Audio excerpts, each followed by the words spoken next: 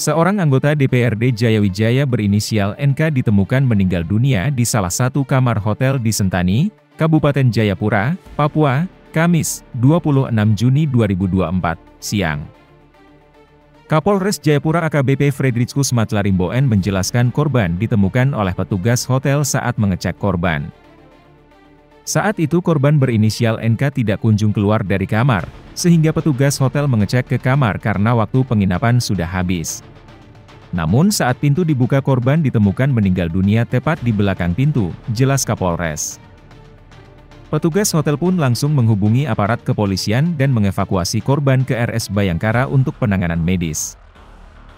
Mendapati laporan tersebut, tim Inavis langsung diturunkan ke lokasi untuk mengevakuasi korban ke RS Bayangkara dan juga dilakukan olah TKP, tuturnya. Dari hasil penyelidikan sementara, korban diketahui merupakan seorang anggota DPRD Kabupaten Jayawijaya, Provinsi Papua Pegunungan. Korban merupakan anggota DPRD Kabupaten Jayawijaya. Terakhir kali terlihat pada pukul 23 WIB, tandas Kapolres.